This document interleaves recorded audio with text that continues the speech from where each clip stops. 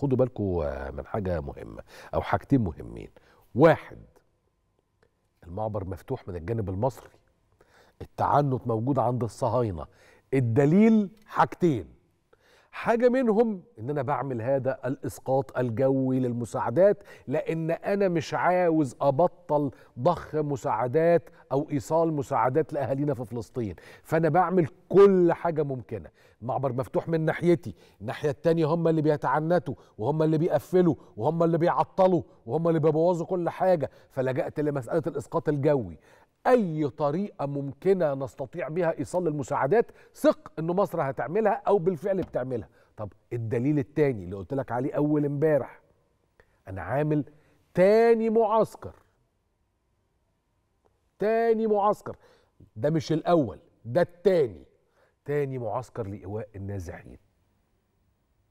وهشتغل على المستشفى الميداني.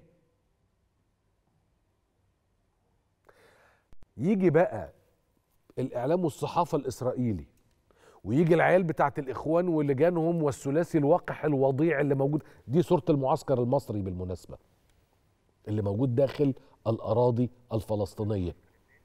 ده رقم اتنين.